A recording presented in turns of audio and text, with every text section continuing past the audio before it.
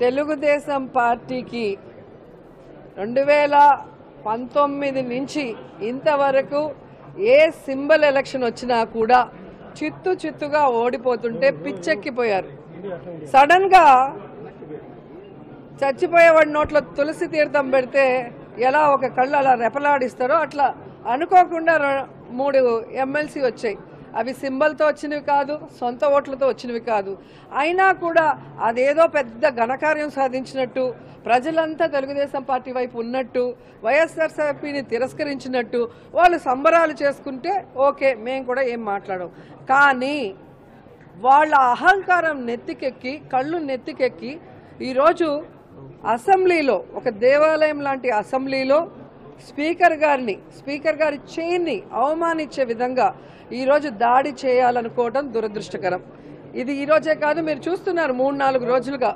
ఆ ఊ అంటే నేరుగా స్పీకర్ చైర్ దగ్గరికి వెళ్ళటం స్పీకర్ చైర్ చుట్టూ నించోవటం పేపర్లు చించి ఆయన మొహాన కొట్టడం అంటే చైర్కి మర్యాద ఇవ్వరు చైర్లో కూర్చున్న మనిషికి మర్యాద ఇవ్వరు.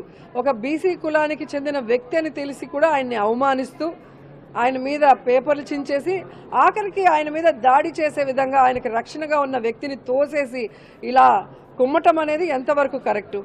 చేసిన తప్పుని సమర్థించుకోవటానికి మళ్ళీ మా సుధాకర్ గారి మీద ఎమ్మెల్యే మీద అలాగే మా డిప్యూటీ సీఎం గారు ఎవరైతే నారాయణ స్వామి గారు ఉన్నారో ఆయనని దూషించి బయటకు వెళ్ళి మళ్ళీ మేము అంటే వైఎస్ఆర్సీపీ వాళ్ళు స్పీకర్ మీద దాడి చేశారు. వైఎస్ఆర్సీపీ వాళ్ళు టీడీపీ ఎమ్మెల్యేల మీద దాడి చేశారని చెప్పుకోవడం సిగ్గుచేటని కూడా ఈ సందర్భంగా తెలియజేసుకుంటున్నాను. ఎక్కడో ఉన్న లోకేష్ ఈరోజు ట్వీట్ చేస్తున్నాడు. దళితుల మీద దాడి చేస్తున్నారు. నేను అడుగుతున్నాను మీరు అధికారంలో వస్తే మీ జాతికి సంబంధించిన వాళ్ళందరికీ పదవులు ఇస్తారు వాళ్ళని నెత్తిన పెట్టుకుంటారు. అపోజిషన్లో ఉన్నప్పుడు దళితులను ముందర పెట్టి బలిపశువులను చేసి ఈరోజు మేము వాళ్ళకి అన్యాయం చేస్తున్నట్టు చెప్పడం దురదృష్టకరం. రెండోది జీవో నెంబర్ వన్ కోసం వాయిదా తీర్మానం ఇచ్చారు. మొన్నేమో జగన్ ఎందుకు ఢిల్లీకి పోయినాడని వాయిదా తీర్మానం ఇచ్చారు ఎక్కడైనా ప్రజా సమస్యల మీద ఒక వాయిదా తీర్మానం ఇచ్చారా? ప్రజా సమస్యల గురించి మాట్లాడాలి అని క్వశ్చన్ టైంలో వాళ్ళు ఆలోచించారని నేను అడుగుతున్నా. ఈరోజు జీవో నెంబర్ వన్లో ఏం తప్పు ఉంది ఒక పదకొండు మందిని తన పబ్లిసిటీ పిచ్చితో చంద్రబాబు నాయుడు చంపేస్తే ప్రజలకి రక్షణ కల్పించాల్సిన బాధ్యత ప్రభుత్వానికి ఉంది కాబట్టి జీవో నెంబర్ వన్ తీసుకొచ్చారు. కానీ జియో నెంబర్ జియో అంటాడు అదేదో లోకేష్. జియో కూడా పలకలేడు. ఆయన పాదయాత్రని అడ్డుకోవడానికే ఈ జియో వన్ తెచ్చామంటారు. ఆయన వెనక ఎంతమంది ఉన్నారో మనం చూడలేదా? మన జిల్లాలో తిరిగారు.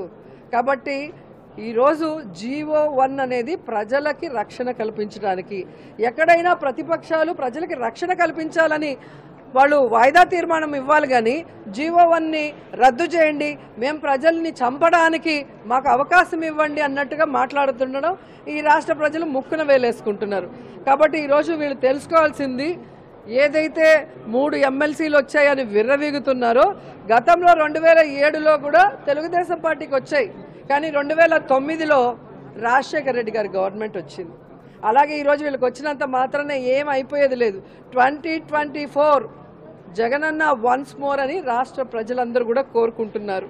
కాబట్టి ఈరోజు ప్రజలకి సంక్షేమాన్ని అభివృద్ధిని రెండు అందిస్తున్న జగనన్నకి సింబల్ ఎలక్షన్లో ప్రజలు ఖచ్చితంగా ఫ్యాన్కే ఓటేస్తారన్న విషయం తెలుగుదేశం పార్టీ వాళ్ళు తెలుసుకొని ఒళ్ళు దగ్గర పెట్టుకొని పనిచేస్తే బాగుంటుంది. తండ్రి ఏమంటాడు చంద్రబాబు నాయుడిని? నేను వస్తే ఒక్కొక్క ఎమ్మెల్యే సంగతి చూసేస్తానంటాడు. కొడుకేమో తన పబ్లిక్ మీటింగ్లో వైఎస్ఆర్సీపీ కార్యకర్తల్ని కొట్టుకుంటూ పోతానంటాడు. మీరు అధికారంలోకి వచ్చి మమ్మల్ని కొట్టాలంటే ఇంకా సంవత్సరం ఉంది. అది పగటి కలే తప్ప అది నిజమయ్యేది కాదు. కానీ ఈరోజు మేము అధికారంలో ఉన్నాం.